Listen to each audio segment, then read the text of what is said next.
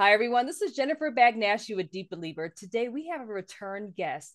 She was ushered into heaven, and when she was ushered into heaven, she was taken to the kingdom banquet, and she saw how elaborate and beautiful and beautiful. I mean, how elaborate it was. And when she did, she actually saw some people unable to get in. Not only that, she was taken also at another point to a lighthouse where she actually saw into the future. She saw what's happening now. She saw the revival. She saw what's to come. And she says, exposure is coming. Yvon Attia, thank you so much for being with us again today. Jenny, thank you so much for having me. This is such an honor. Thank you. So tell us, let's talk about this kingdom banquet. You even call it even a wedding banquet. Tell us yeah. how did this all start? How did you even get to heaven? And then what was the inception of it all? Okay, amen. Well, you know, I was preparing for a show, and uh, the show is called Jesus Through the Eyes of the Middle East. So it's trying to help a lot of people living in the West to understand the radical love of Jesus from a Middle Eastern perspective. So, as I was deeply studying in the Word, I came across Luke 14. And uh, this is a parable that Jesus taught about a banquet that is taking place in heaven. And I was just planning, studying, learning all the cultural understanding of this. And what I learned about this parable shocked me, Jenny, because you know, when you're just reading it on the surface, it reads like a normal parable, but there's a lot in it. And that's what led me into this encounter, which I'll talk about in a second. But in this particular um, parable, Luke 14, Jesus is telling his followers that when you invite or when you have a banquet, and this is very prophetic and very deep. He said, Don't just invite your friends and your relatives and your rich neighbors. He said, But go out and invite the poor and the crippled and the lame and the blind. And again, that doesn't sit really well with us because you think about how we do uh, a, a banquet, or even think about when you're inviting someone for like lunch or dinner hardly ever, right, do we trust or open up our homes to those who are crippled or blind or the homeless. Like, honestly, let's be very honest. When was the last time someone actually did that? Because the normal is that you would open up your house to those who you know but the ways of the kingdom are contrary to the way of the way we understand life. And so jesus is saying that there is a banquet and it's not just for relatives and friends but it's for those who think that they are that they don't qualify to come into your house. This is who this banquet's for. And so the bible says that someone came to jesus and said to him hearing this a man sitting at the table said to Jesus, What a blessing it will be to attend a banquet in the kingdom. And when I read this, I was like, wow, the moment you read something and it's so amazing, your spirit picks it up before your mind does. So you're reading something and you're so excited. You know that God wants to take you somewhere or teach you something, but you just don't really understand. So it's in that time that you lean in and you just try and lend your ears more to the Holy Spirit. And so Jesus began to teach something. He said this there was one day a man who prepared a great banquet. He said, when the banquet was ready, he sent his servants to tell the guests, Come, the banquet is ready. Now, what I really want to highlight before telling the encounter is that during those days, meat was kept alive. What does that mean? It's not like today when you are inviting someone and you go out and you buy meat. In those days, there was no refrigerators. So they kept the animals alive, like the cows and the lambs. And so, what they would normally do is before the day of the banquet, invitations would first go out. And that is very important to understand what's coming. So invitations would go out. I'd send you an invite and I say, Hey, Jennifer, I'm having a banquet on this day. Would you like to come? You then would have to say yes. Once you say yes, I have a head count. And based on the head count, I will go out, slaughter the calf, slaughter the animals, and prepare. So, what I got to learn is in this banquet, invitations had already gone out, and those guests already said yes. And then what happened on the day was absolutely shocking. The first one comes up with this excuse. And the first one said, I cannot come because I just purchased a field and I'm going out to inspect it. Now, reading this, you might think, that could be a legitimate excuse. It's not. It's a full blown out lie because in the Middle East, most of the land is desert. There's hardly ever fertile field.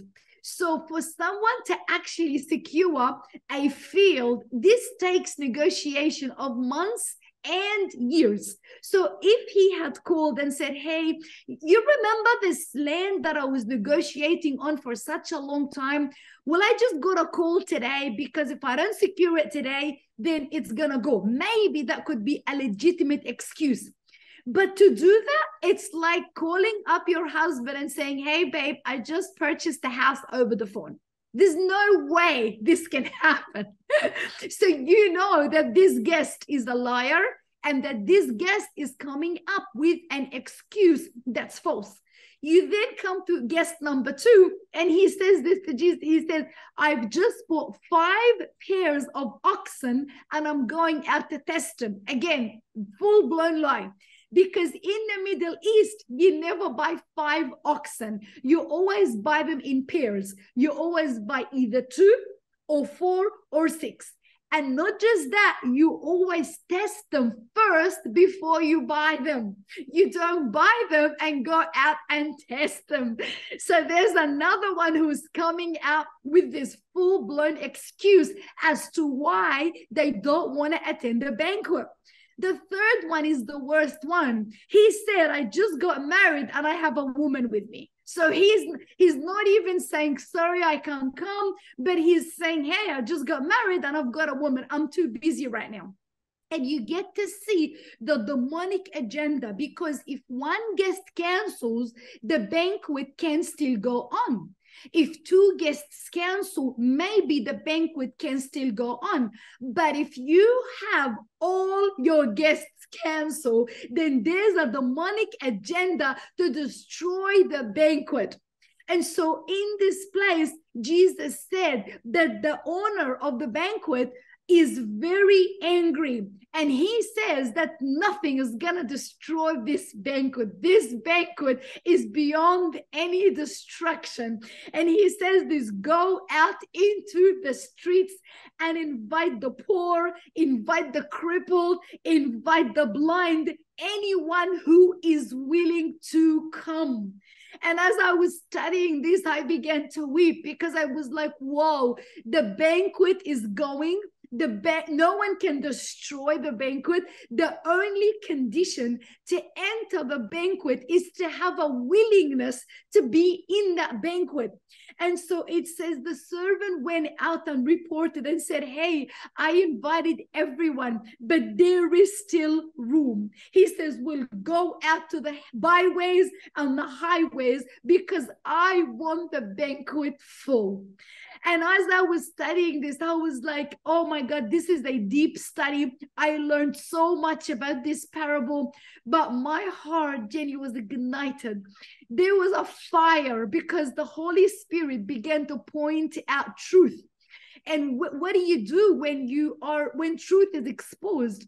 So i was like okay i've got to put the dots together. There is a banquet that is happening in the kingdom. No one can destroy this banquet. The only condition is not because i pray more or fast more or become more religious. None of this. I must have a willingness. I must be willing because the servant went out to someone who was lame, who was blind, who was homeless. and said to him, Hey, there's a banquet. You're invited to the banquet. Most people won't believe because it's like, I don't even know the host.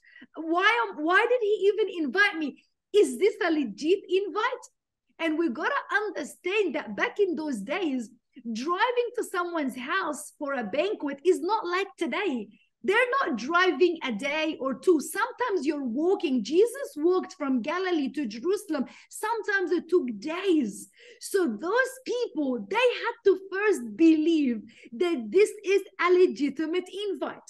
Then they have to be willing to come all the way to this host that they don't even know about and believe that they're invited to this banquet. And the Lord began to minister to my heart and said this to me Yvon, this banquet is going right now. But many of my people, they don't believe that they can even enter. And I said, Lord, what do you mean? He said, most believers, they think that they first have to die before they can enter this banquet. And I was like, that's that's actually true, God. He said, You don't. You already died in me. And you now live, and the life that you live right now, you cannot separate your life from me. You're in union with me. So, through your union with Jesus, you can access this banquet. And so I became so excited.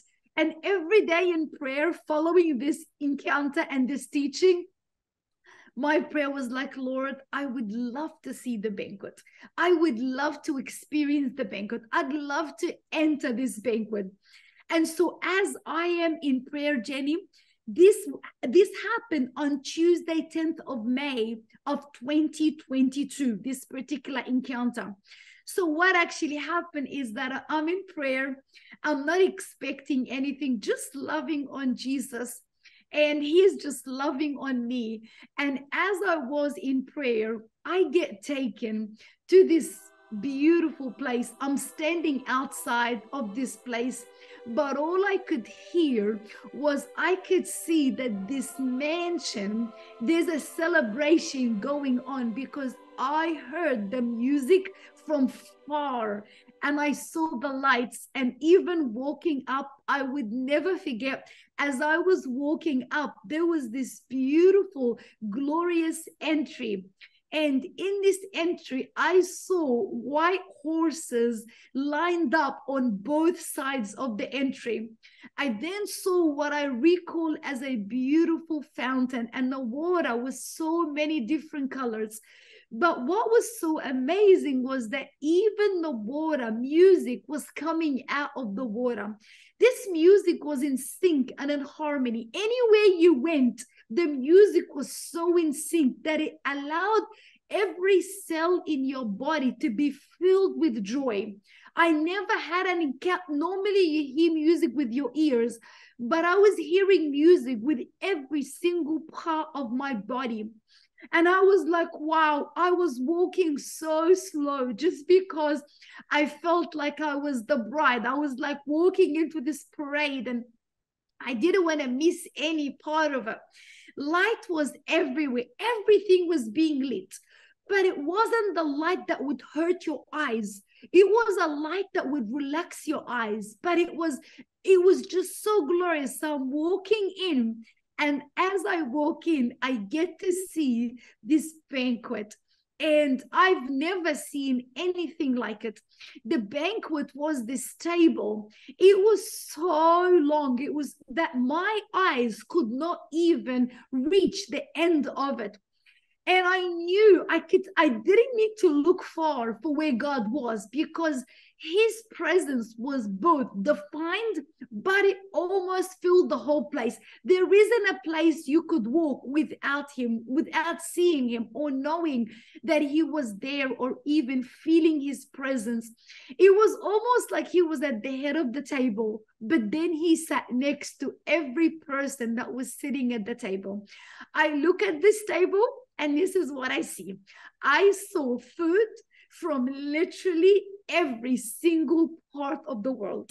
It was amazing. It was foods from Africa, foods from Asia, foods from India. It was all those fragrances, but yet all the fragrances just went together in this amazing unity.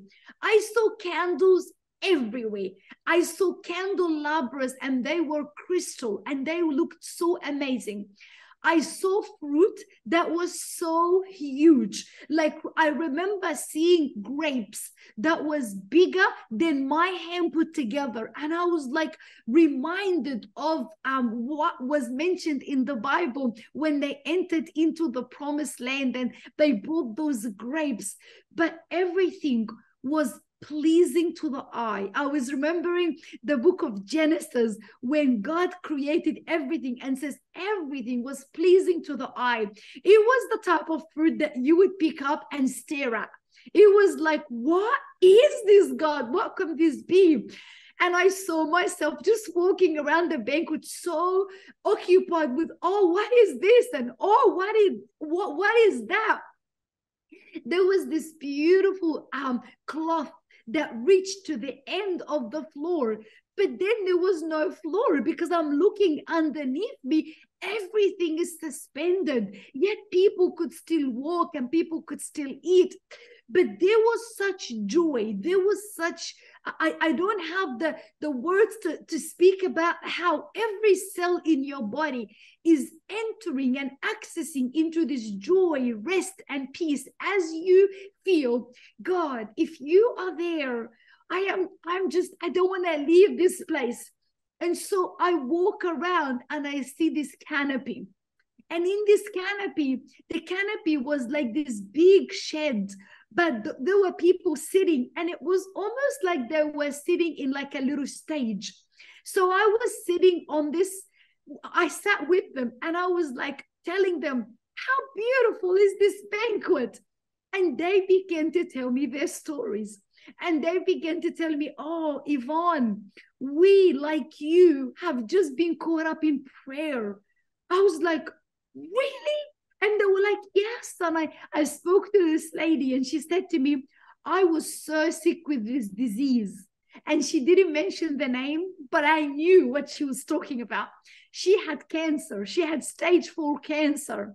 And I'm just believing, Jenny, that even as viewers are watching this, there's going to be a release of anointing to bind and kill and destroy every demonic cell of cancer. Because this woman, she had this cancer and she, when she said to me, as I was praying, and I said to her, What were you praying for?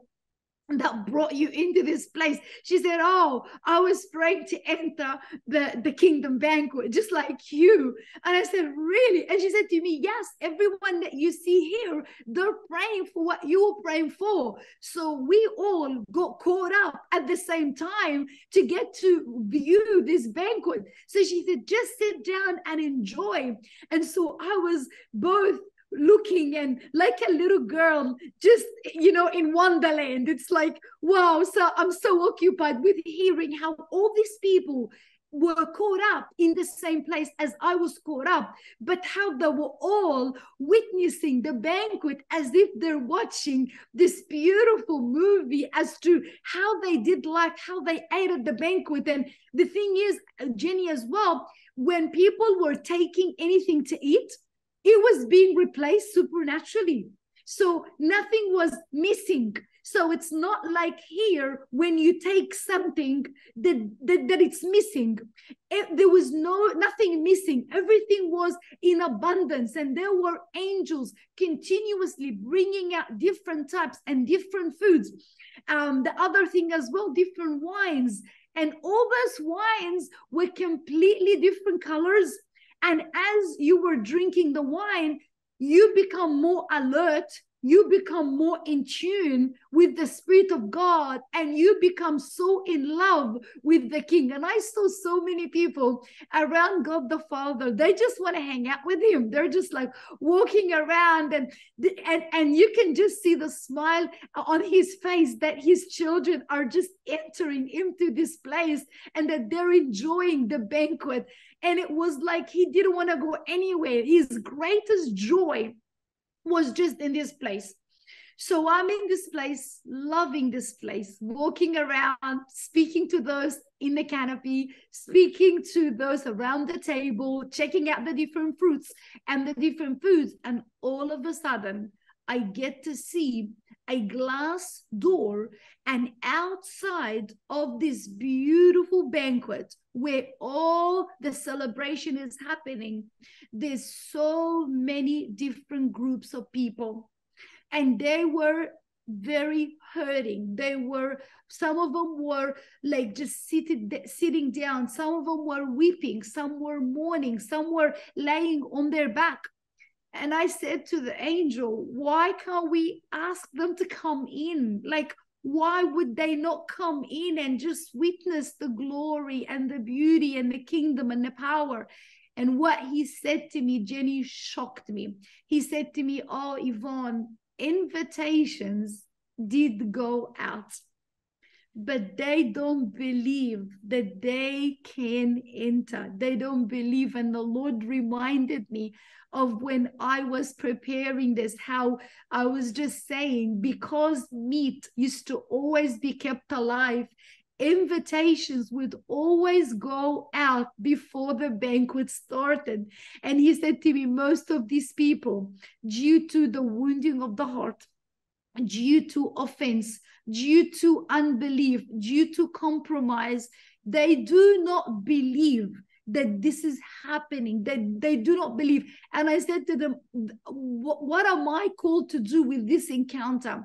He said to me, Every time you share this place that you entered and this place that you can come into, you are to tell my beloved people that this place is happening right now in the spiritual dimension, and that every single person of my children who received the sacrifice of my son Jesus, they can come in. They can receive abundance. They can receive their healing. They can hang out with God our Father and they can live in the state of joy. They do not need to be out there and so, Jenny, I came back from this encounter completely wrecked by the love of God, by the joy of God. And I said, God, I promise you that this is going to be a time where I will tell your beloved children that they can come in. That is beautiful. I mean, just the detail that you remember and I'm actually really happy that you mentioned this parable because this is one of my personal favorite parables that you rarely hear preached in churches ever. So, I mean, thank you so much for that. So, I want to ask, what do you mean when you say that it's happening now? So, right now, we know and we understand that Jesus was raised to life and that he is seated right now at God's right hand what is he doing? When we come to think he's not just sitting there bored, he is sitting there, and God the Father is celebrating the resurrection of his son Jesus.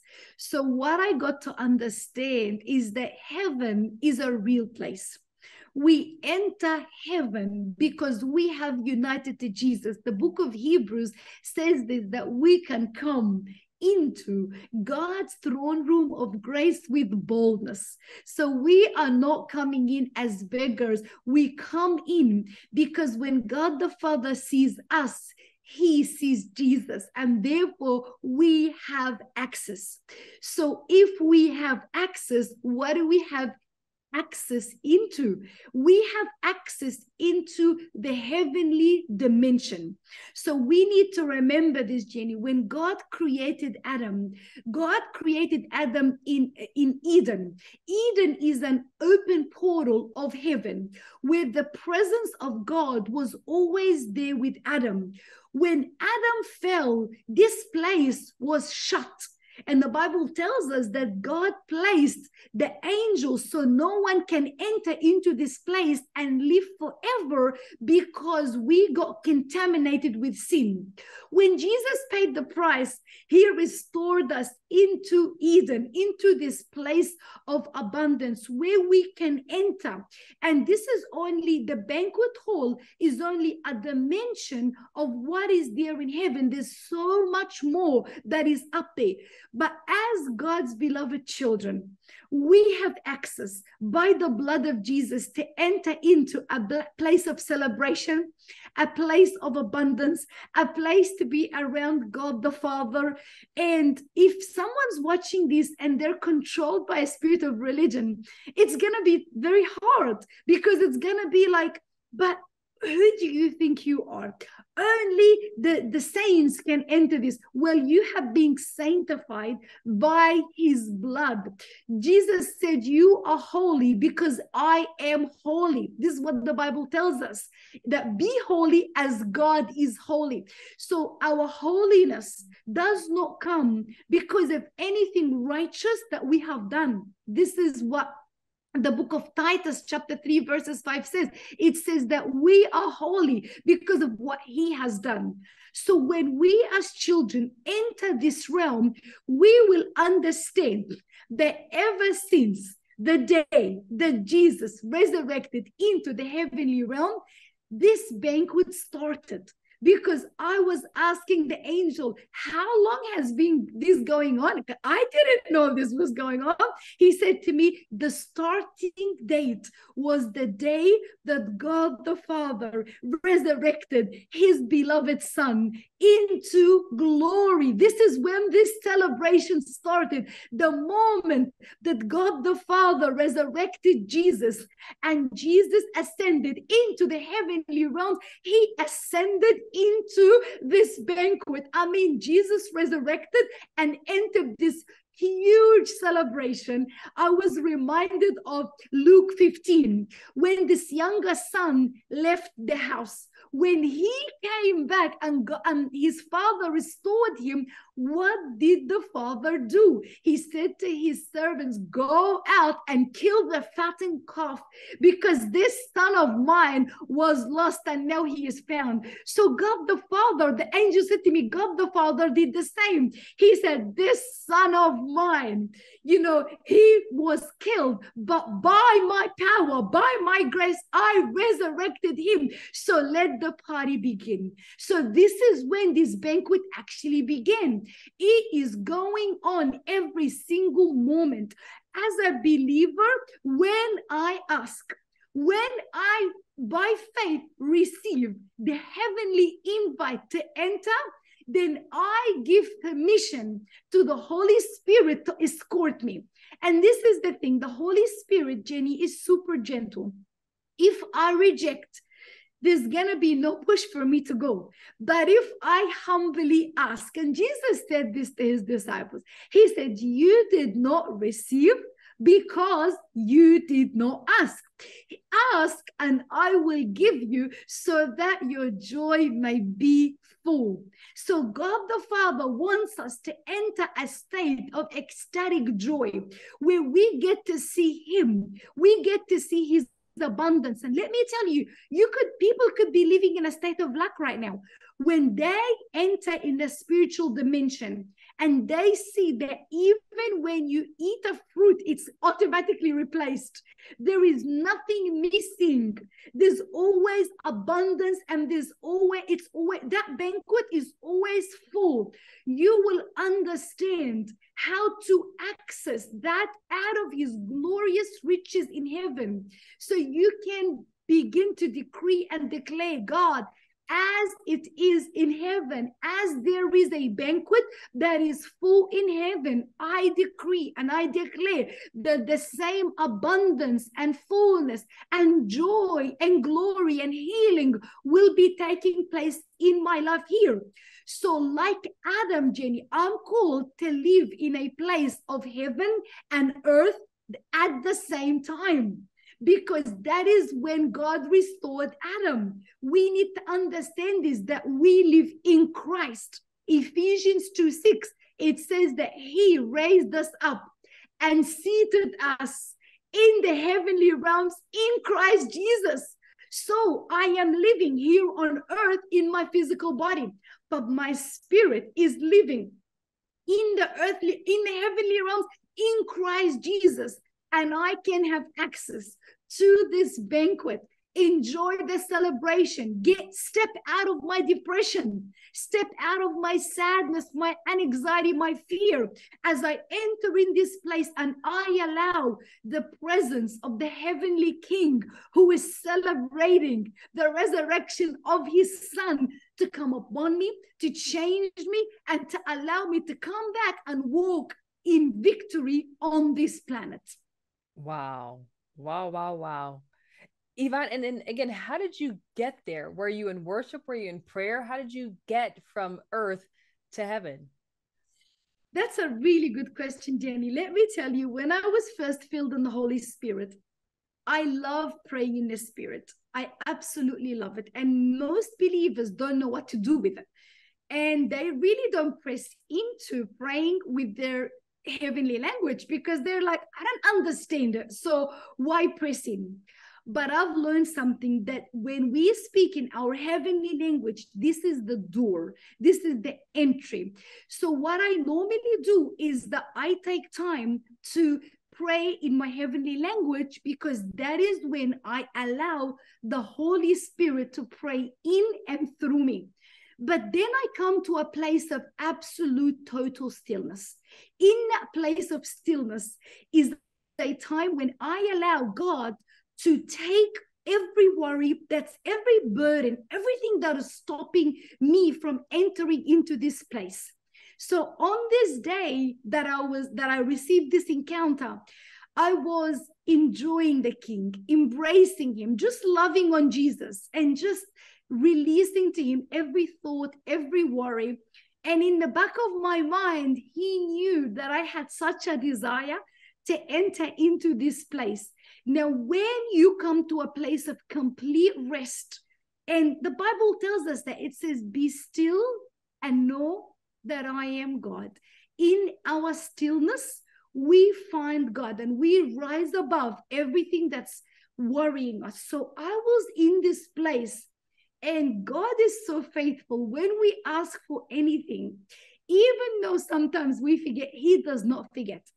And so when I was in this place, God begins to open up your spiritual eyes and ears, but He does it bit by bit. So I was in the prayer closet and I heard in the spiritual dimension music. And I knew, and this how it begins by a very small thing. You remember in the Old Testament when Elijah was praying for rain and his servant came and said to him, We don't see abundance in rain. We just see a cloud as small as a man's hand. What was he doing? He thanked God for it because he knew that this is how God begins an encounter. It's in the small, still voice. So when I began to hear a sound of music and celebration I knew that God is leading me into. I didn't know the whole encounter, but I began to be continue to be still. Continue to love on Jesus, continue to welcome Holy Spirit, and continue to say, Holy Spirit, whatever it is that you want to show me, I want you to show me. All of a sudden, it's not only my ears that are hearing the music, my eyes are now seeing the mansion. And so we begin to operate. God uses our senses in order to allow us to enter into the heavenly realms. So at the start, Jenny, it's your heart. Your heart is connecting to God. You're not seeing anything, you're just loving Jesus. Then all of a sudden, your inner ears or your spiritual ears they're hearing music. And you're like what is that music? Is that like a worship song that you want me to sing? But i couldn't figure out that wasn't a song i knew. And so i was just like okay god i'm hearing you you know and just pressing into here. All of a sudden your eyes are like oh there's a mansion. Oh there's a walkway. And all of a sudden you enter a place where god redeems your imagination in your mind all of a sudden the mind now opens up. So, how does it start? one thing to another. The heart begins to fall in love with Jesus. The ears open up and they hear something. The eyes begin to see the mention. Then the mind is completely opened up, completely under the influence of the Holy Spirit. And all of a sudden, you see this huge walkway where I saw the white horses on both sides and the fountain where the water was different colors. So then, what do I do? in the spiritual dimension, I allow myself to move in. So I'm walking in, I'm seeing myself walking in. And that's when God knows, okay, she accepted the invitation. She is responding to the heavenly call to enter. And if you're walking and you're seeing steps, go up the steps. If you're seeing a door, walk in the door. And you will understand that in the spiritual place, you can talk and move and touch and feel. And you begin to see that in the spiritual dimension, it does take practice, but it does take trust. It just you need to understand that you cannot make up something like that in your mind. You can't dream that up. This is the place where God begins to show you, you begin to act in obedience as a little girl walking into a candy store. You're tasting, you're smelling, you're eating, you're asking. And it's then when God's like, okay, I can trust her. She trusts me. She believes me. I'm going to show her the banquet hall. I'm going to show her this place. I'm going to, and let me tell you, there's always a big smile on God the Father's face as He's showing you this place because you're like, oh my God, wow, that's amazing. And you're like, and he allows you to walk in, he allows you to eat and to touch and to experience and to smell. There's no rush in heaven. There's a re- there's a total state of rest and joy, and you never worry. You never worry that you're running out of time. In actual fact, I felt that time was becoming still as I was in that presence. I was given time to enjoy and the Lord said to me, Life gets so busy that we hardly get to enjoy anything. We hardly get to enjoy our meals. We hardly get to enjoy our children because we're always thinking of the next best thing to do. In heaven, it's not like that. In heaven, you're in a state of total rest and total embrace. All you want to do is just sit there and indulge in what God the Father has given you as his daughter. So, are you saying because the Bible says that we're seated in heavenly places with the Lord, our spirit sees what our spirit sees, I guess, in heaven when when you transfer from earth to heaven? Absolutely. And we got to trust in that, Jenny. The problem is most believers don't trust that. They don't know how to walk in their true identity as those who are seated in Christ Jesus. I love how the Apostle Paul continued to use this phrase in Christ. He always says, if anyone is in Christ, they're a new creation.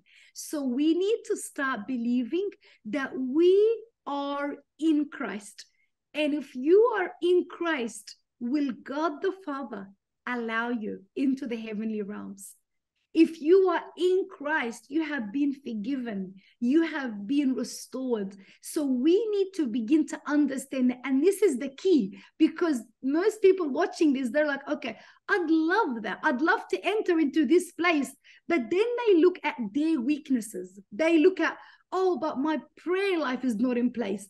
Oh, but I don't do this. And I want you to shift out of that mentality to walking in your true and real identity as someone who is in Christ, in union with Jesus. And prayer time has to be a time of stepping into wonderland. If you've watched this movie you know if you've gone into these places we're like wow i've just stepped into the heavenly realms. And i can access that. In the book of revelation it says that to give ears to the spirit the spirit gives ears to the believer. So when we are in that realm god i want ears to hear because just because you have ears it doesn't mean that you can hear. Just because you have eyes it doesn't mean you can see.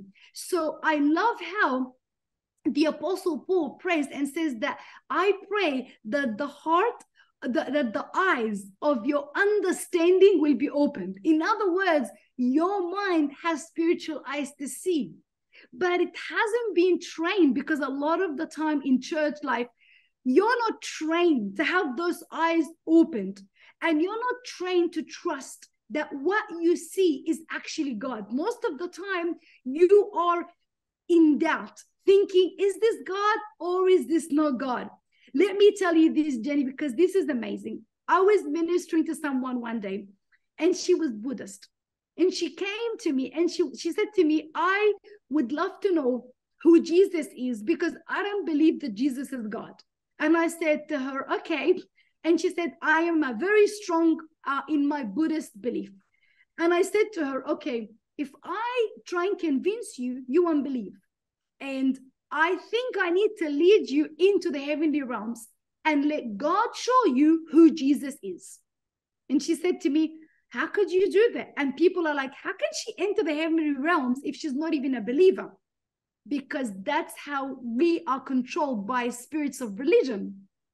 But if God wants to allow anyone in the heavenly realms, he can do that. He said that to, to the disciples when he was speaking about John. He said, If I want John to live forever, I can do that. I'm God.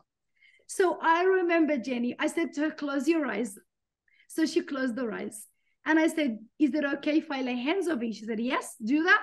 So I just laid hands and I said, Holy Spirit, could you come and help your dear girl to know who Jesus is? come and just show her. And that's what the holy spirit does. The holy spirit shows you. And so she could she starts to shake because she just felt she was completely under the holy spirit's influence. And then i said to her okay jenny I, I, okay close your eyes and begin to um, i'm gonna pray a prayer to have your spiritual eyes open. She said okay so i said father in the name of jesus i ask that you would open her spiritual eyes and ears to see and hear what you are about to show her. And then I said to her, okay, what is Holy Spirit showing you now? And I began to lead her into the heavenly realms. I said, I'm leading you into the heavenly realms. Keep your eyes closed. Let me know what you're seeing right now. And she begins to weep. And she begins to tell me, okay, I see this beautiful garden and I said, okay, uh, can you walk into the garden? Is there like a pathway? She said, yes. And I said, okay, walk through it. So she was walking through it. And then she said to me, oh, and I see a white horse. And I said, okay, are you able to get on the horse? She said, um, yes, I can. And I said, get on the horse. And she said to me, she starts crying. And I said, and I said, why are you crying? She said, because I couldn't get on the horse. It was so high and I couldn't get on. But I saw someone sitting on the horse and he literally grabbed me like I was a little girl and he sat me in front. And I said, Okay, are you seated there now? She said, Yes.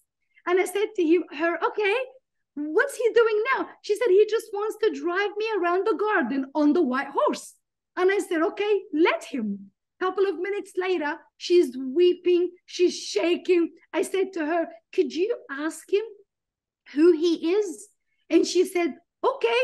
So she asks him and he says to her i am the lord jesus christ. Wow. she comes back shaking crying for 40 minutes. I could not stop her. And i said to her how are you going to respond she said to me i'm going to become a christian and I said, Why? She said, Because when he told me his name, he didn't say, I'm Jesus. He said to me, I am the Lord Jesus Christ. When he said the Lord, he is the Lord. Now, she became a believer. And I tell you something, Jenny, I could not take away that experience from her because it was the Lord Himself ministering to her, letting her know who He is. And the Lord said to me, It's not by might and it's not by power, it's not by convincing people. If the heavenly realms is a real place, if it's an open place, We have authority to lead those who are seeking, those who are thirsty, those who are searching into this place where they can hear God for themselves. They can see God for themselves, and therefore their encounter becomes real. And the Lord said this to me, Jenny.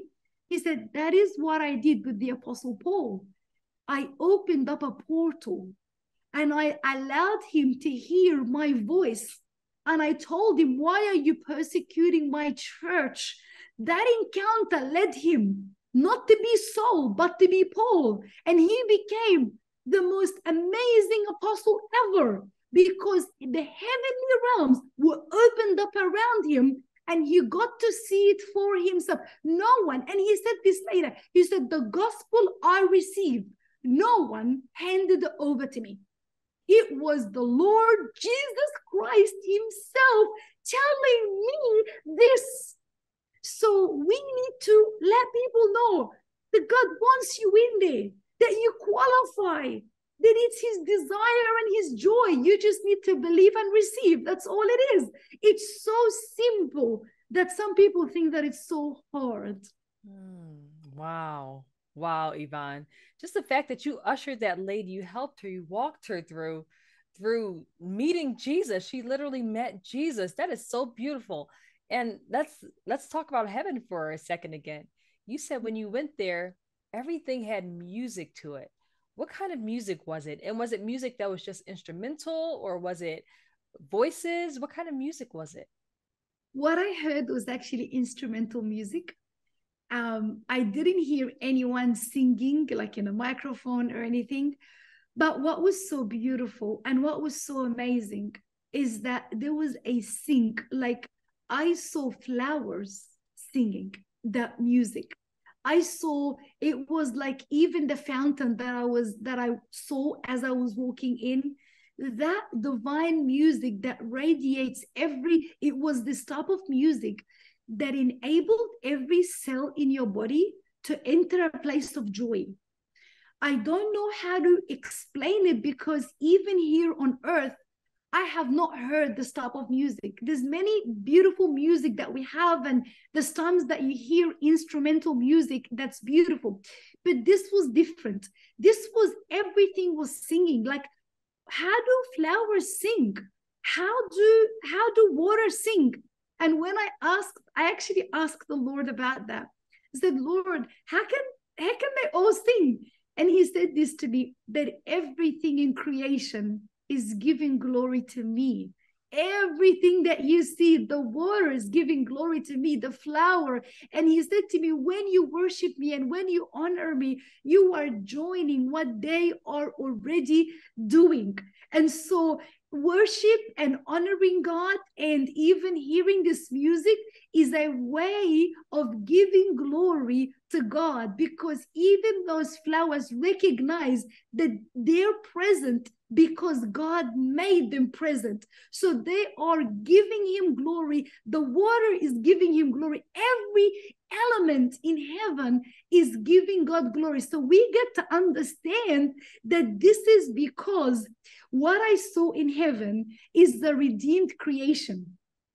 And the Lord was showing me that this was the state of creation before the fall. Everything was worshiping God. But after the fall, Today, you get to see flowers here on earth and roses. They look beautiful, but there's no music coming out of them because the, even now the creation is being affected by the fall. But as the book of Romans says, that creation itself is groaning because it wants to be relieved from this effect of the curse. What I saw in heaven was what a fully redeemed creation would look like when everything around me has life. And the Lord said this to me when I created everything, everything had life. And the life that was in everything wasn't just a life when you see a flower growing and then in a couple of days dying. The death is a result of the curse. That's why you see a flower dying. That's why we age. But in this redeemed state, you enter a place of resurrection. And the Lord was showing me that resurrection is the highest level. Why? If you are alive, you die. But if you have resurrected, you cannot die. You bypass death. So he was showing me, Yvon, everything you see in this state right now is a state of resurrection. Those flowers that are singing, it's because they have fully resurrected. The water that's got different, beautiful, glorious colors. It wasn't even normal water. It was like they were, they had like shimmering crystals that was coming out of the water. It was so glamorous and so soothing to the eye that when you look at it, your eyes are like, wow, how beautiful is this place? God was reminding me of Jacob and his ladder when he woke up and said, Whoa, this has to be like a place where God lives. When he said, This is the gate of heaven. So when you enter this place, everything is in sync. Everyone is worshiping this beautiful music that is just bringing life and light to you. And it's amazing because there's no boundaries. It's not like here where you see walls and your eyes cannot see beyond concrete walls. You enter a completely new dimension where you can see through everything. Even the Lord said to me, Your eyesight is fully restored because this eyesight is meant to look through everything. There should be no boundaries. So you enter a place of resurrection. And this is when I met this friend that I saw in heaven. And she said to me that she had cancer. And when she entered into this place, she was completely healed. And the Lord said this to me, Jenny. He said, My remnant church will be entering this place of glory because it's that glorious state that brings healing. It's no longer using your giftings. Your giftings is when you pray for someone and through a gift of healing, they get healed. But when the glorious state of heaven enters a place, people get healed, people get saved. And that is what's coming. What is coming right now, and even with the revivals that you see, during those revivals, so many people said, We got healed and we got delivered. No one prayed for them. It was the glorious presence of the heavenly realms entering and invading this place. Why? Because the people were worshiping God from all of their heart. So, therefore, heaven is attracted to when we worship the King. So, the music that I heard everyone was singing the same you know it wasn't a song it was very gentle light music that was so soothing. But when you get to see everyone everything that you see i've never seen that obviously happen here on earth. Did you know yvon before the flood because this goes along with what you saw on the banquet table the big grapes and all this uh, I there were some researchers and some scientists and some um, I don't know if it's archaeologists, but I know some scientists. They even said that they actually truly believe that fruit and plant life were bigger than it is now. So before the flood, everything was bigger. So that coincides with what you said, how the grape was bigger, and you you compared it to the the garden, how you know everything was back to how the garden was because they they said even the animals were bigger and all this stuff but especially the fruit the produce the, the plants everything was bigger back then. So we're going to be eating some big fruit some some big spinach leaves. Um and now when you saw the people there were did you see a mix of people who had passed away who were in heaven now or was it just people who were praying like you were praying and they were coming together so the people that I saw under the canopy, they were all people that were living right now, like me here in different parts of the world.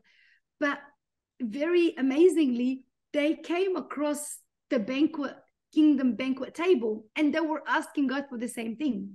So I am sure there were other canopies and other people, and I'm sure there was another place for those who died and are now with with the Lord. But that's not what I saw on this day. What I saw on this day under this canopy was the group of people who were like, oh, we got caught up and they knew, they knew each other. They even, they even knew me. And somehow in my heart, when they said this, I was knowing them, but I don't know who are they now. Uh, and it's it's actually so amazing. But we can meet each other in heaven. Isn't that awesome? If I am praying, seeking God right now, someone else is praying, seeking God in another state or in another country, it's completely normal to speak to each other in this heavenly realm and to tell each other. But what I was hearing under the canopy is testimony after testimony after testimony. There was, so this lady she was saying to me, Oh, I had this disease.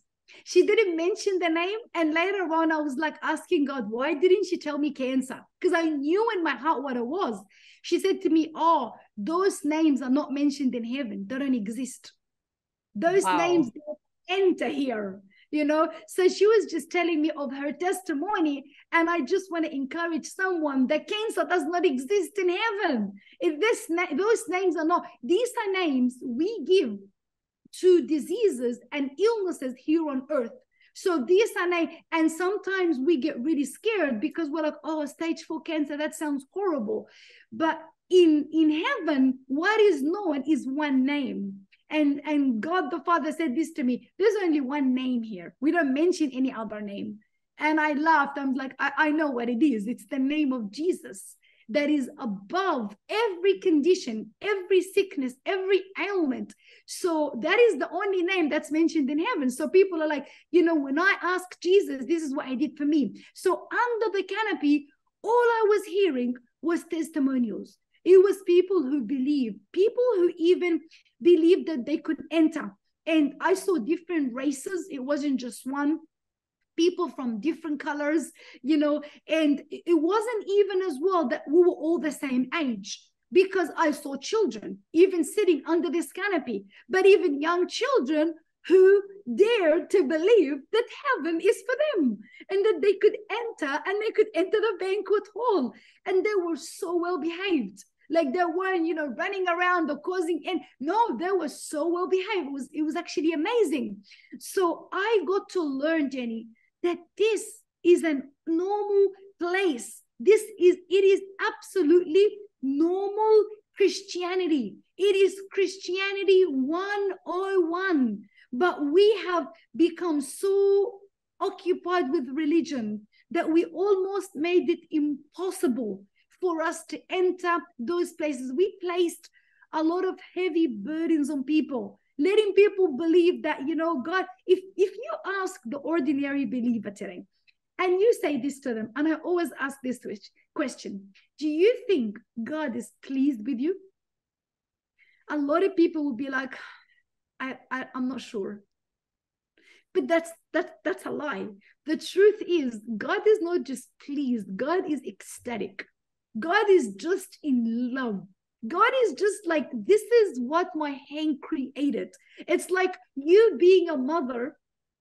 How do you feel when you look at your girls? How do you feel? Even when they do the wrong thing, right? Even when they mess up, deep in your heart, you're thinking, you guys are the cutest thing ever. you're so biased. Why? Because they're your girls, right? so that's how God the Father looks at us, even when there's a weakness or there's a struggle. And God's like, they're just learning. They're just so cute.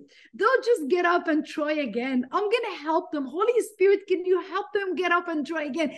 But He is ecstatic.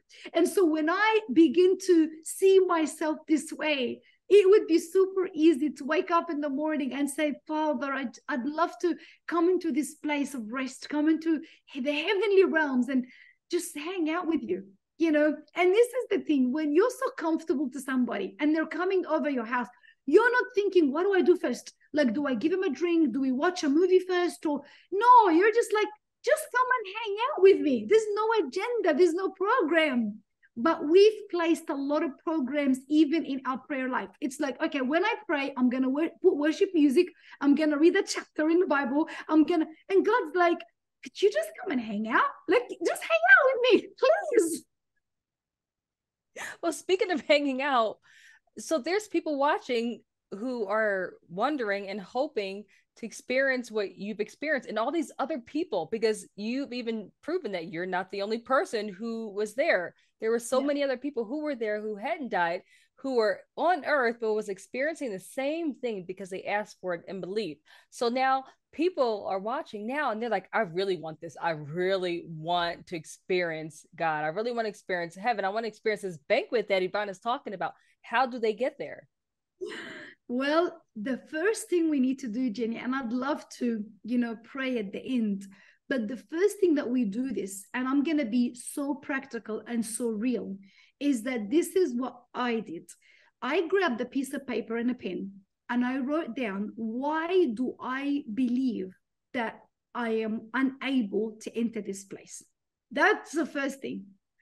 And a lot of, and you will come up with a lot. So the first thing for me was I was filled with doubt and unbelief that this is even real, to the level that I was reminded when someone years ago um, told me you could be filled in the spirit, and I didn't believe it. I was like, I'm already a believer. There's nothing else to for me.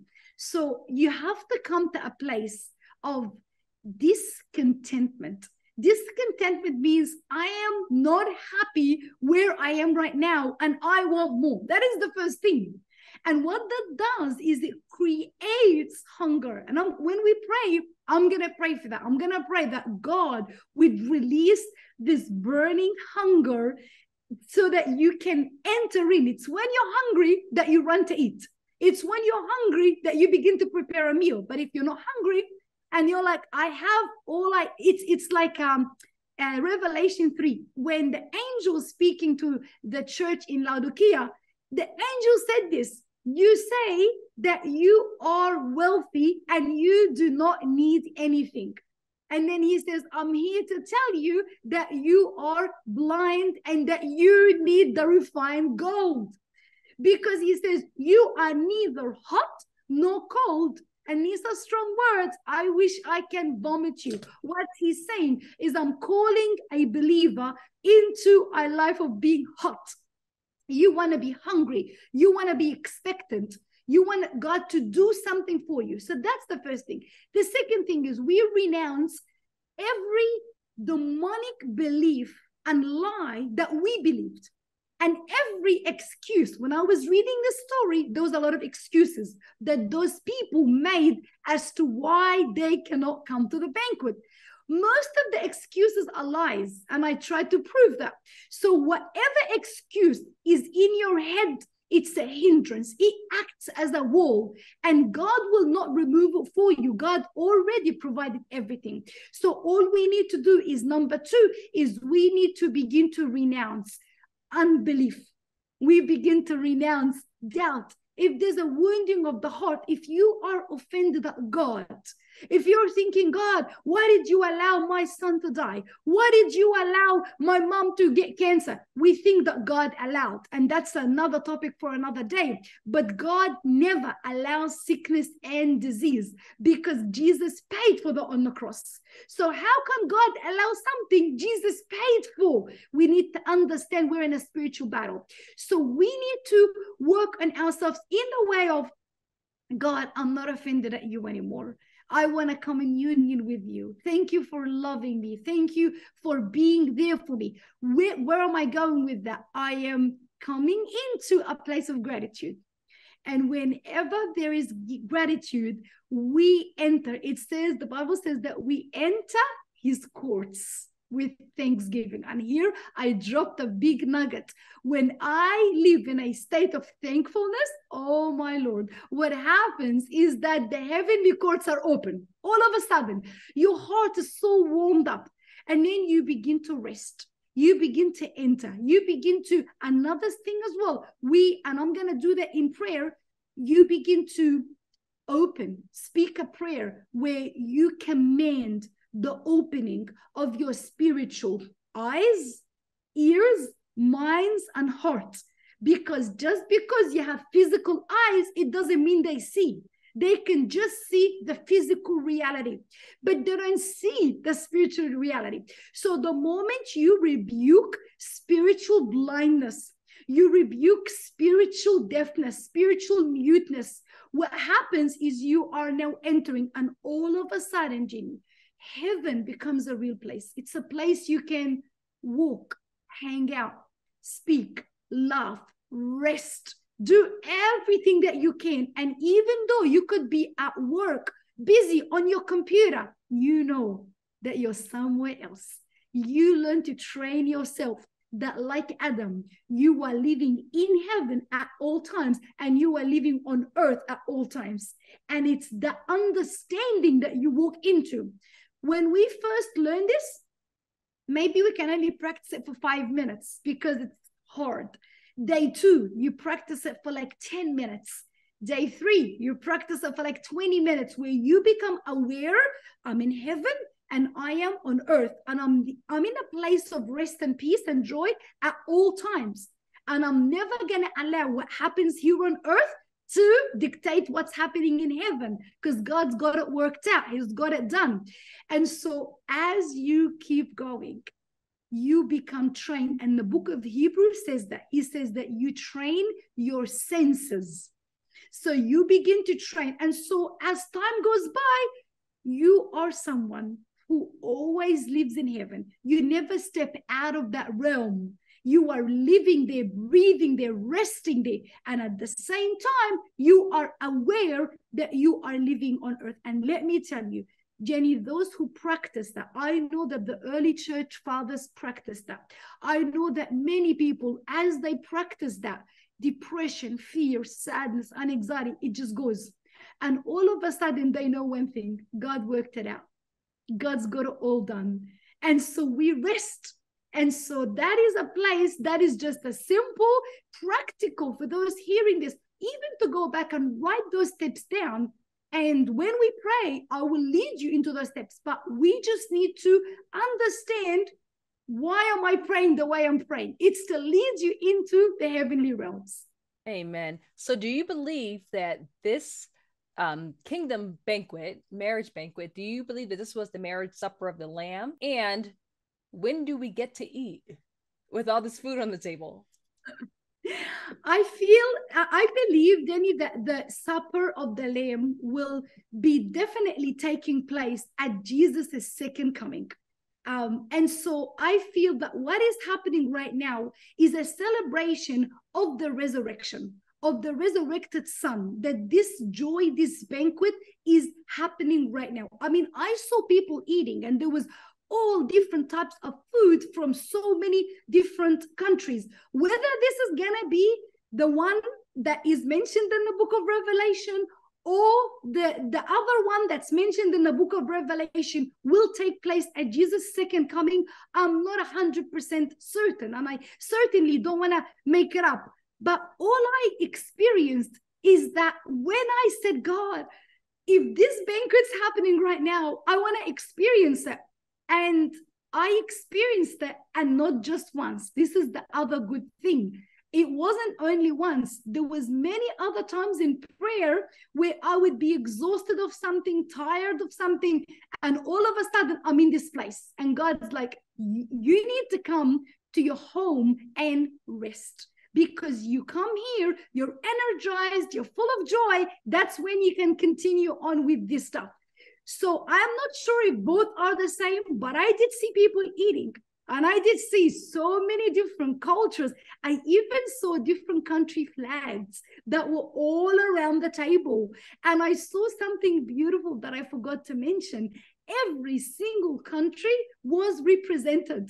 And even when I asked God, God, why are all these flags? He said to me, because in every part of the world, I have faithful believers who are believing in me.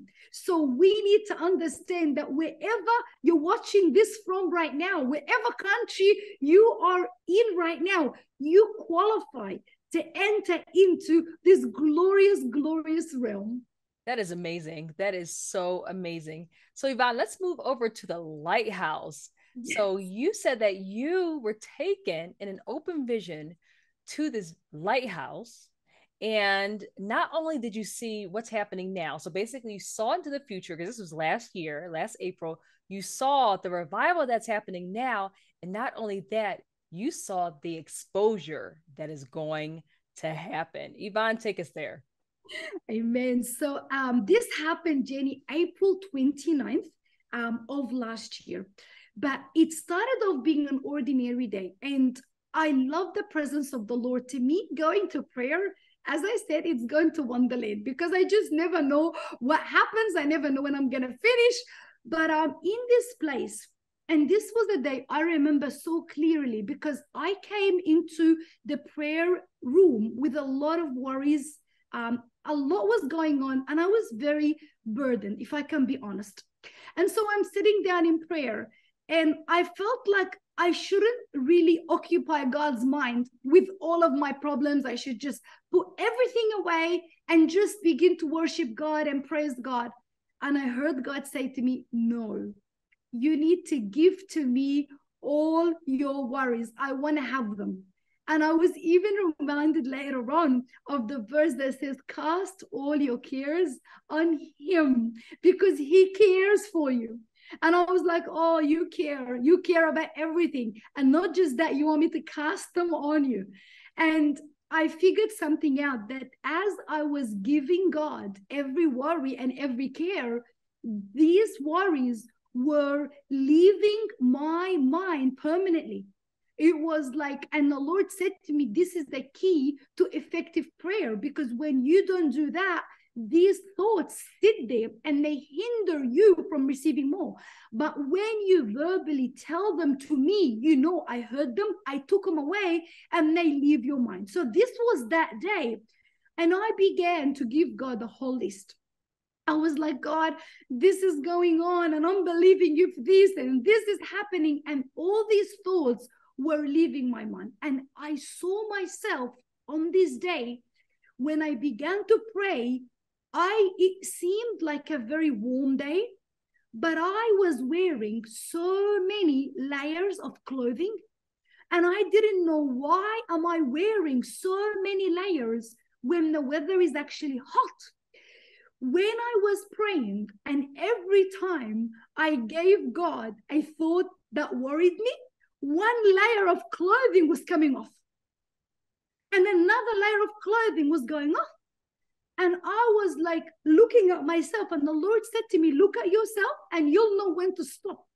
And I kept on looking at myself, and more layers and more layers until I reached a place where I only had, it wasn't even like a layer, but it was this thin, shimmery dress that was so cooling.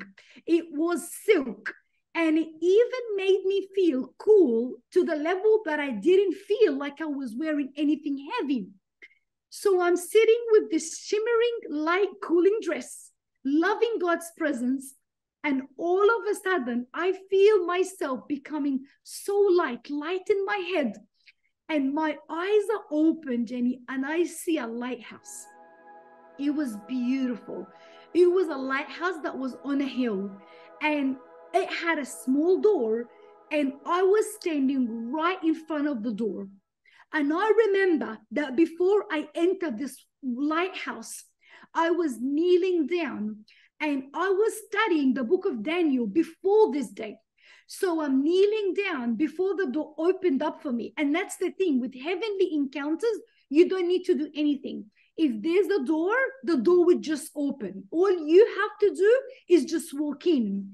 So I see the door and the door is not open. And I'm just I'm just on my knees and I begin to remember that I was reading the book of Daniel and I hear myself saying, Praise the name of God forever and ever, for all wisdom and power belong to God. He controls, this is actually Daniel chapter 2 from verses 20 to 22. I was meditating on that for about a week. And I am kneeling down and I'm saying this He controls the course of life events. He removes kings and he sets up king. He gives wisdom and knowledge. And I am repeating this. He controls the course of world events. He sets up kings and he removes kings. And that was my prayer. It wasn't like a prayer that you hear, God, give me this, or I had already given everything to God.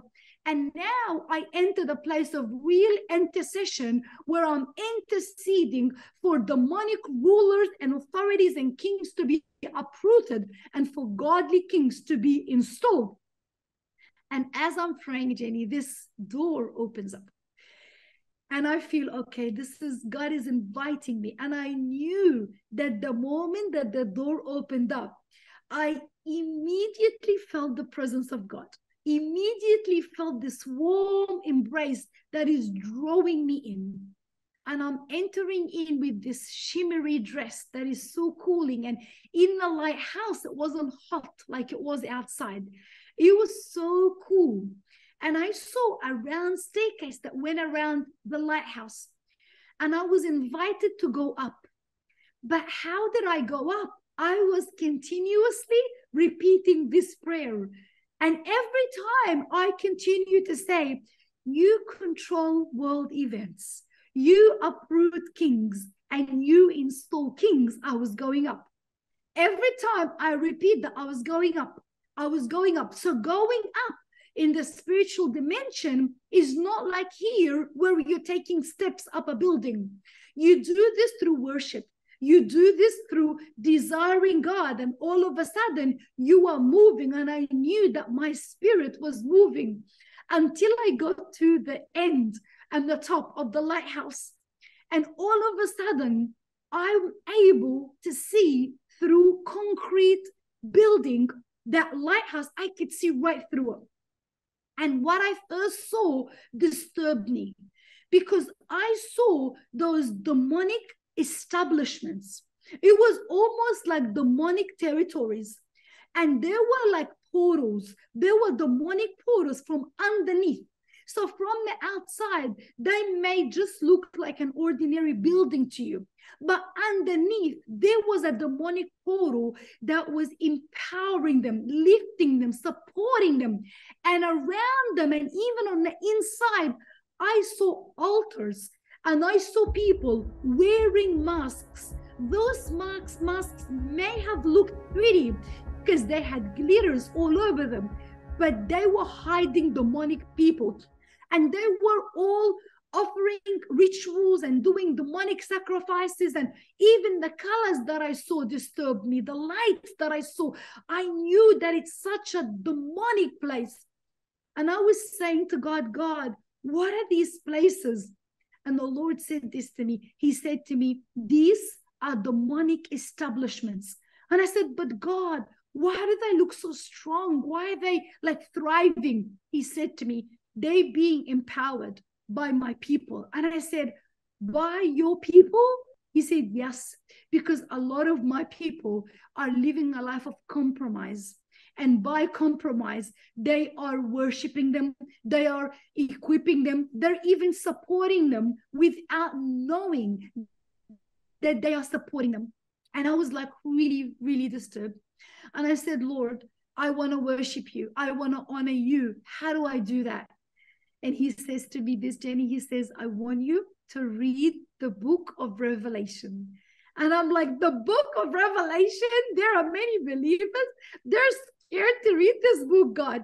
And all of a sudden, I get to hear this beautiful verse being sung and repeated to you be the honor, to you be the kingdom, to you be the power. And that is that verse is being repeated. My ears are open and I hear the heavenly choir decreeing and declaring to you be the power, to you be the glory, to you be the honor forever and ever. Amen. And I begin to lift up my hands and join the heavenly choir.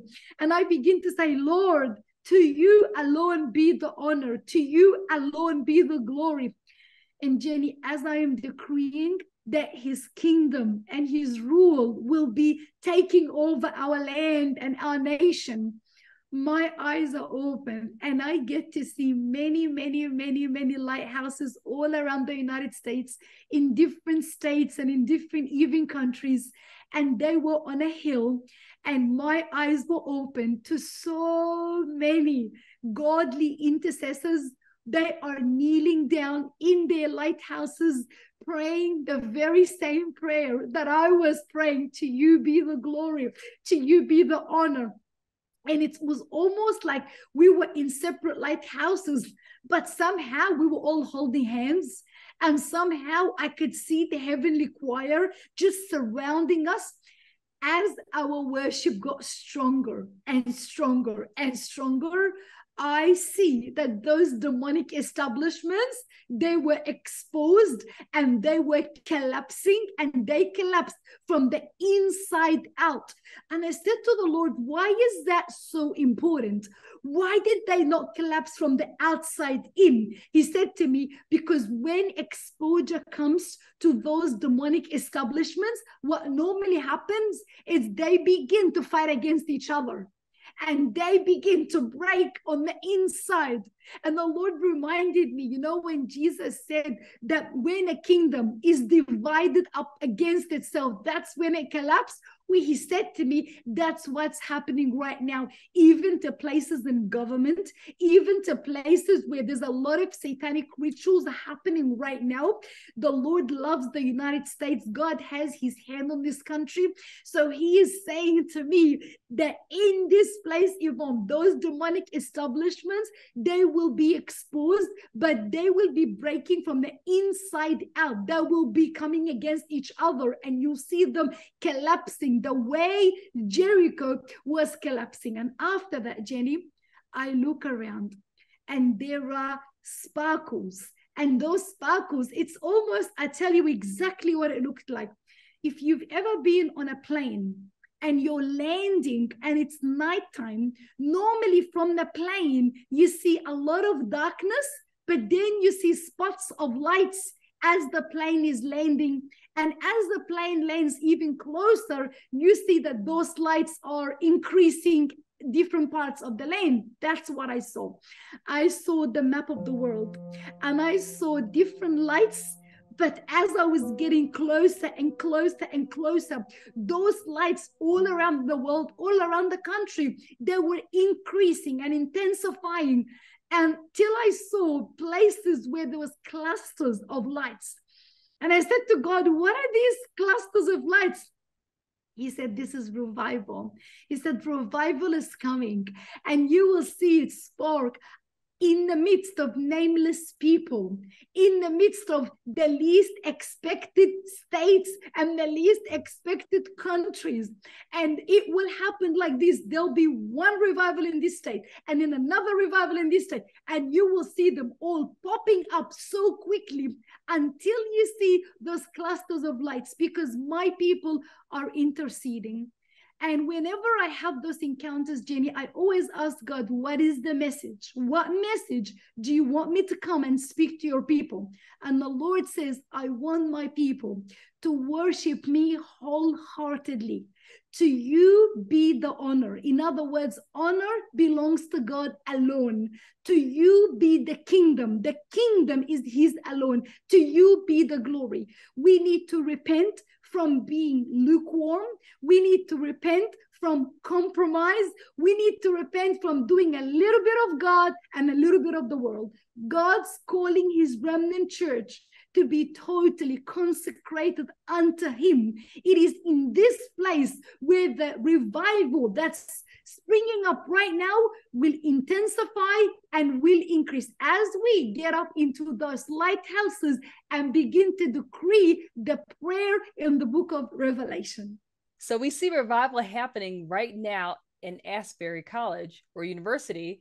Where else are you seeing revival? I'm seeing revival in in Asbury. I'm seeing revival in Florida. The Lord was showing me different pockets in Florida, and not just that. I was able to see the states that were really hit hard, and a lot of the churches were shut down. Places like California, places even like Colorado Springs. The Lord was saying to me, there is gonna be no state. Every state will have a sparkle. And it's only when these sparkles increase that is going to be um, the clusters that you see.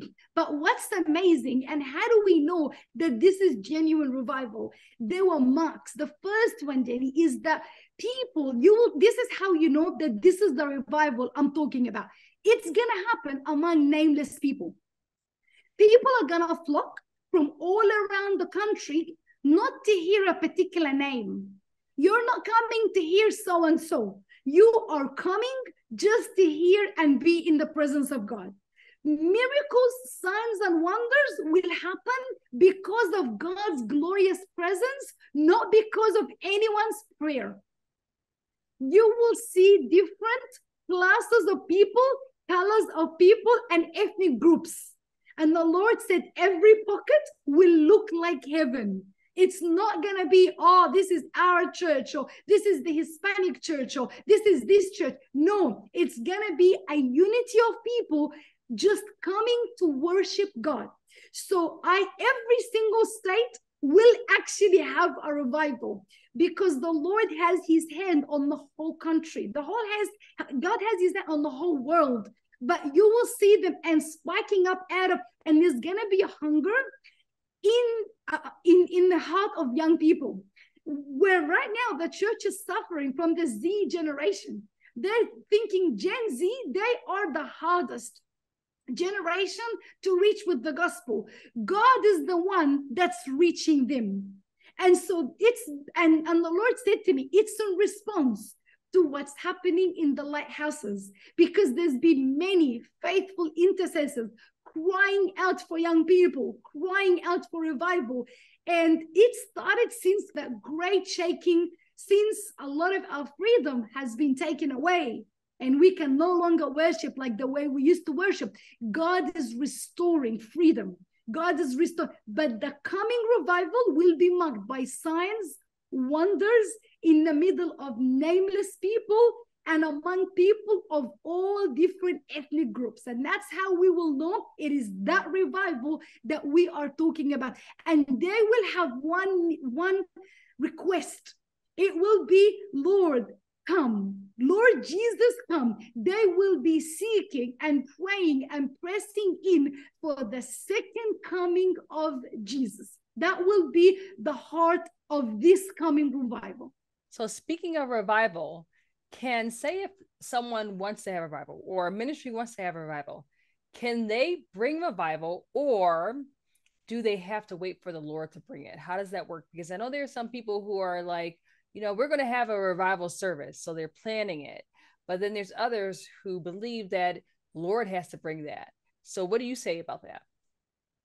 I think oh, I feel that revival starts in the heart. It starts when we come to God and we repent and really, so we can actually, I believe, bring about this revival. How does it, where does, where do we find that in the Bible? In the book of Acts, in chapter 2, when there was an outpouring of the Holy Spirit, and they began to speak in new tongues and people were telling peter how do what do we do like they're seeing this revival he said to them he said repent of your sins and be baptized so that times of refreshment will come from the Lord. So it was actually up to them to repent of their sins. It was up to them. In other words, and I tell you something, Jenny, when revival broke out in my personal life, it was during a time when I was desperate for God and I was repenting. And when I say repenting, I'm not just talking about repenting of sin. I mean, that's an aspect of it. But repenting means changing the way we think. It's called metanoia, comes from the word metanoia, which actually means you're going in a direction and you change and take another direction. So it's becoming dissatisfied with our lives. And it's saying to God, God, I want you to come in. And God is faithful to bring about this revival. So a revival doesn't take place when a church organizes a revival service and invites a very famous speaker and everyone's coming to hear so and so. I don't believe that that's revival because what tends to happen, and I saw this in church life over and over again. You go and you spend a week and you buy this person's books and you get them to sign your books, and it's all great. And then you go back to ordinary life. How many times have we done that? That's not what I'm talking about. I'm talking about when we come to God wholeheartedly and we're like, God, I am hungry for you. I want you to revive me. Now, I want to define the word revival. Revival means something died and is being revived. So that's what revival is. So it's for people who feel and think that their spiritual life is dead. If I feel, oh, my life is on fire, I am prophesying, I'm prophet so and so, or I'm apostle so and so. I'm telling you, you're not going to get that revival. Let's be honest. Revival is when you come to the Lord and you cry out to Him and you're like, Lord, I'm thankful for where you've taken me, but I know there is more and I know that you want to revive me. The other thing in revival is we should never look back. And this is gonna scare some people. We should not look back at the book of Acts or look back at previous revivals and cry out, God, would you bring again the Welsh revival? God, would you bring about? No, because God will always do something greater and bigger. So you always look at the disciples in the outpouring of Acts 2. And I'm thankful for that revival, but they were learners. They were the first batch. 2,000 years later, we are to expect more we are to press in for more. So our heart is not for the Welsh revival. It's not for the revival in Acts 2. It's God, could you bring the greatest revival ever so that nations and multitudes shall see you in a single day? That has to be the understanding of God. I'm pressing in for the greatest revival the world has ever seen. I don't want to go back if I go back, I'm going back. That means I'm not being revived. Revival means I'm going to step in to do for God to do exceeding abundantly more than I could ever think or imagine. So we need to write down what would be our wildest dreams. Well, God's going to do more. What will be something that we'd never think could happen? God's going to do more. So we're going to see that the streets are filled with people that what we saw in anyone's days, God's gonna do more. And that is how we get hungry because we've opened up our heart, increased our potential for the greatest revival, greatest release in glory that will ever hit. And what does that do? It positions me in a new place of expectancy. I am expecting and when I expect, God meets my expectation and does more. But if I'm only expecting to go back to the Welsh revival, that's all I'm going to get. So I don't want to go back to any of this. I'm thankful for them, but God, you are going to do more. So do you believe that the exposure will happen because of the revival that's happening right now? Absolutely. And I tell you something, Jenny, we are stepping into, I love the prophetic. We are stepping, we are in March right now, and there's a lot of exposure. How many cases are being exposed? How many fraud cases are being exposed? And they're being exposed in a very quick and very supernatural way. And so, why is the month of March very important? This is the month that most of God's people around the world they've just celebrated Purim two days ago. And why is that very important? Because we get to see a, a slave girl who was taken captive. Her name is Esther. And she comes from being a slave or a captive into becoming the queen of Persia, into God using her to save her entire nation. Now, that is a great, great deliverance. But for that deliverance to happen, exposure had to happen. God needed to expose Haman before the eyes of the king. But before God did this, God needed to allow Esther to reveal who she is. So the word Esther actually means from in the Babylonian language hidden. It means to be concealed. The Bible tells us in Esther chapter 2 that her uncle Mordecai gave her that name so that he can conceal her identity and her nationality. So when she entered into the king, king's court, he loved her and he placed the crown on her head because she was God's covenant girl. He didn't know why he liked her, he just liked her. But that's because she was connected to who God was. But later on, she needed to have Haman exposed. To do that, she needed to be revealed first. So this is a season where we are moving from being Esther to being a Hadassah. Hadassah is her real Jewish name and it means to be revealed. When she went into the banquet hall of the king, it wasn't just to tell him about Haman, it was to tell him that this woman whom you loved, whom you chose, is actually Hadassah. She's a Jew. Will you still kill your wife? And it is that that Haman gets exposed, that Haman gets hanged, that his 10 children get hanged, that Mordecai is elevated to a new place in the king's court. So, what am I saying? That this exposure needs to happen. For it to happen, we need to be revealed as the Hadassahs. We need our new identity. We need to walk in that new identity. The world must know who we are through our love for Jesus, our consecration for King Jesus. It is the time where we, as the body of Christ, are no longer hidden but revealed. And as we start to have our God given identity revealed, every Haman is about to be exposed, hanged. And it is in that place where revival will happen. And so, what is Purim? It is a time where their sorrow was turned into joy, and it is a time where their mourning was turned into glorious celebration.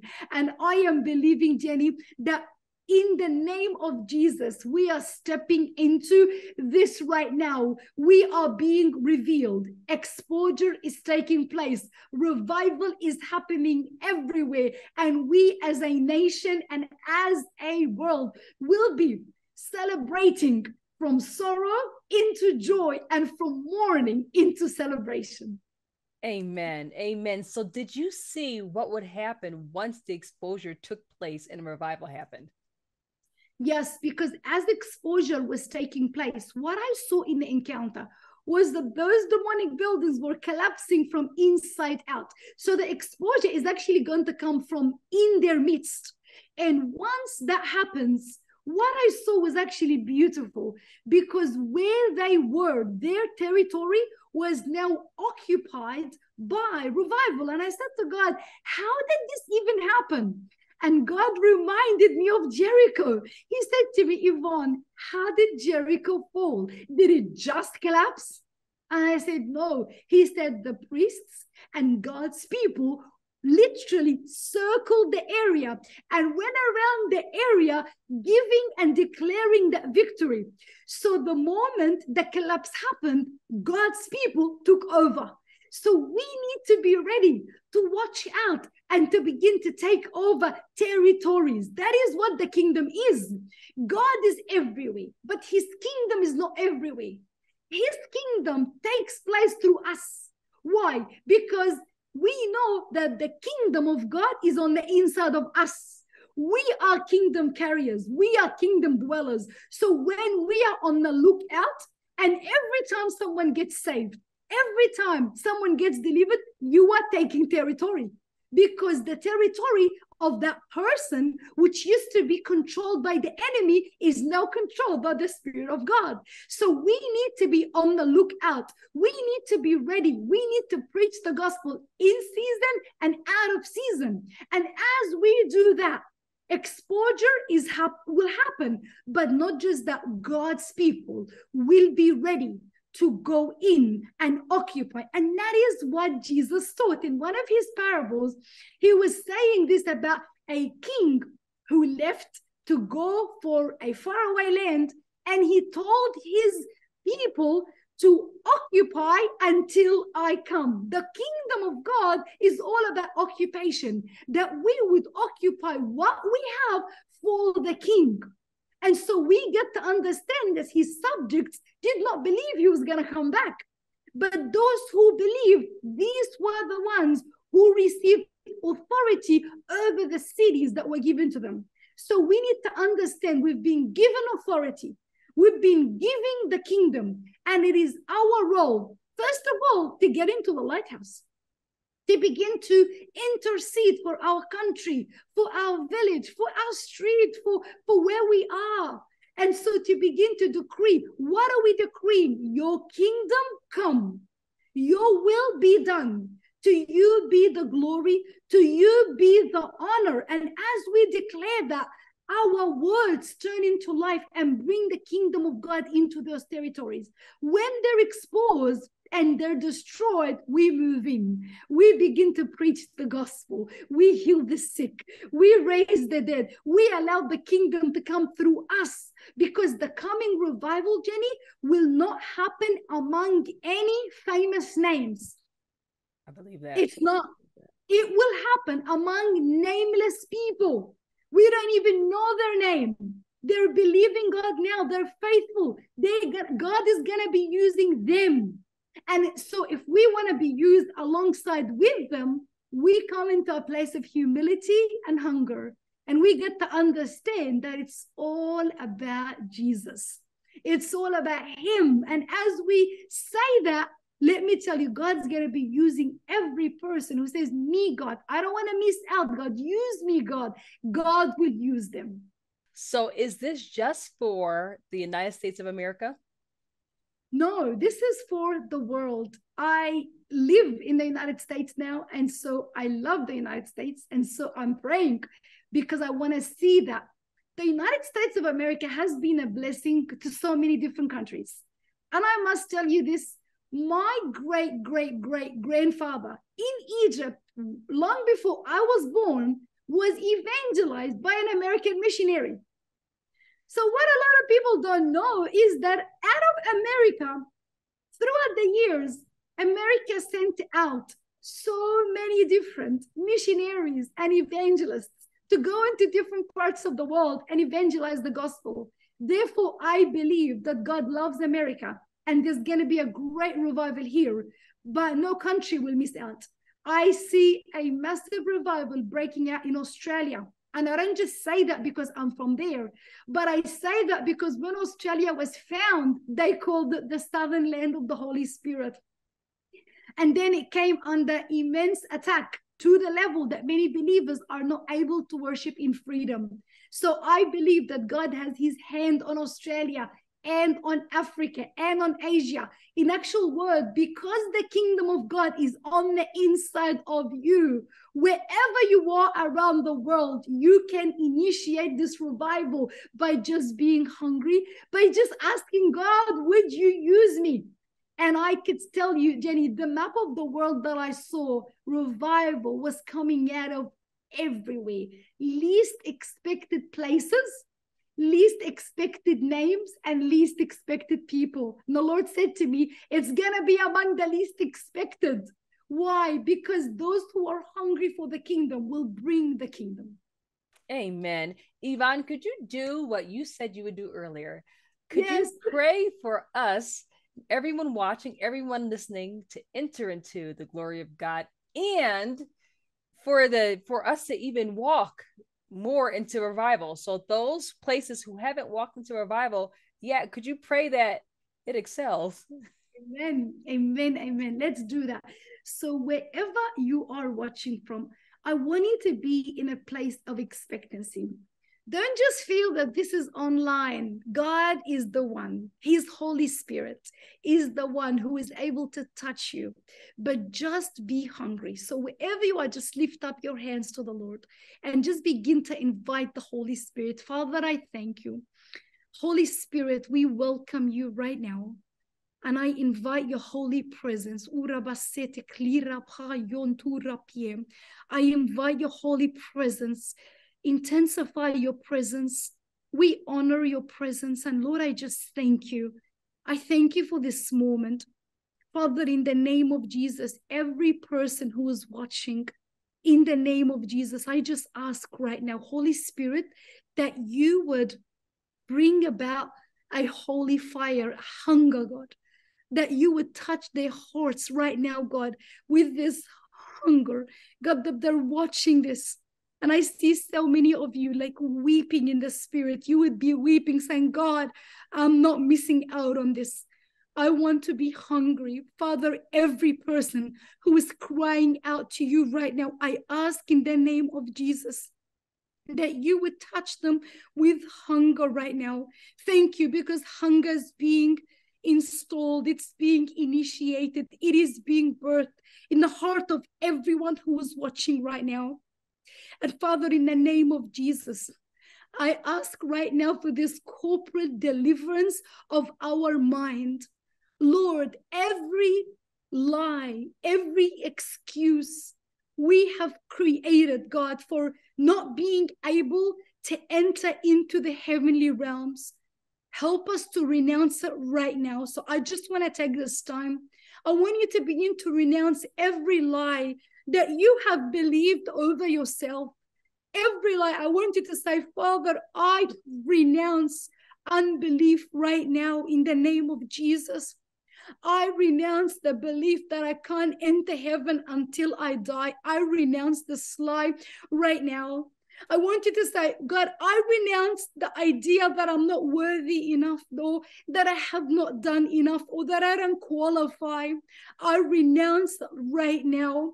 I want you to say, I renounce fear and torment and depression.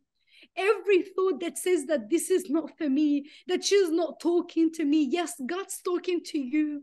God is pointing at you. So I want you to take those moments and just to say, I renounce every demonic lie, every accusation that's coming against me, every condemnation that is hindering me right now.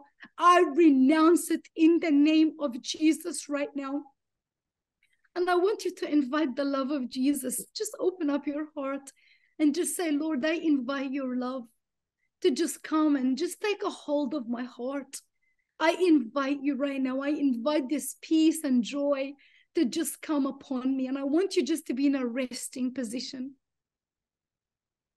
And now I want to pray for the opening of your spiritual heart, eyes, ears, and mind. Father, in the name of King Jesus, right now, God, I take authority in the spiritual dimension and Father, I speak to the heart, to the mouth, to the eyes, to the ears, and to the mind in the spiritual dimension. And I just command them to be opened right now in Jesus' mighty name. I rebuke and I renounce every spiritual blindness, every spiritual muteness, every spiritual deafness, in the name of Jesus, I renounce it right now. And I speak to those dimensions to be opened. I pray right now that your mind be opened. I pray for the heart area, the ear, and the eyes be open in the spiritual dimension in the name of King Jesus. Thank you, Lord. Thank you, Lord. In this glorious place of resting, I want you to see in the mind, in your spiritual mind, what God is doing. Some of you, you'll be seeing a, a mental image of God embracing you. Here we go. God embracing you. I just want you to rest and just to allow God to embrace you. Someone else, you might see yourself in a garden where you're just walking around with God the Father and He's just holding your hand. What do you see? Someone else. You could just be yourself, just kneeling down in prayer, and God has his hands over you. Whichever mental picture that you see, I want you to say, God, I believe it. God, I believe that I'm not making this up. God, I believe that this is you. I want you to say, God, take me further. God, take me deeper. And I want you to begin to release your spirit wherever it is. Feel free to walk around in this place. Feel free to touch, feel free to smell, feel free to speak with God, feel free to open up your heart. This is such a sacred moment right now between you and God. So don't even rush this place, don't even rush this time. Some of you, you could just be resting. You could be seeing a river, or you could be smelling a flower. What is God doing from where you are? Where is God? What is He saying to you? What is he asking you to do? Don't rush, just let yourself hear and see and smell and love. Feel free to come close to Father God and just embrace Him. Feel free to just be resting. Father, in the name of Jesus, those right now who are believing you, God, those who are believing that this invitation is for them, I just ask, Lord, that you take a hold of them right now. Take him deeper. Father, in the name of Jesus, intensify your love, intensify your Holy Spirit. I just release this importation, Father. Uia quieres tia chutse klapranu. Reba suti claraba sheti lidia sutu lara papa yondo. Ila raba sotu kara papa yuset resaku. I see and feel that God is healing your heart right now. God is removing foreign objects that caused you pain. Father, in the name of Jesus, thank you. I see God touching bodies right now. And I just see that cancer is shriveling and dying. I see people being healed of so many different conditions.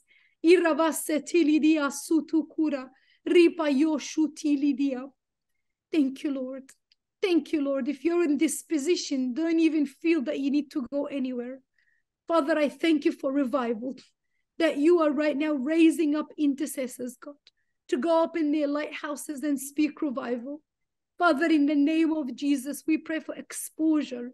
I thank you, Lord, that exposure is coming. And I thank you, Lord, that Jericho is being destroyed from the inside out. And I just see, Father, in the name of Jesus, that the revival, God, you showed me in every state and in every different part of the world will be ignited, God. Cloro. Thank you, Lord, for Times Square. Thank you, Lord, for people gathering all around Washington, D.C. Thank you, Lord, for prayer. Thank you, Lord, for you've got your hands, God, on this world. Thank you, Lord, for what you are doing.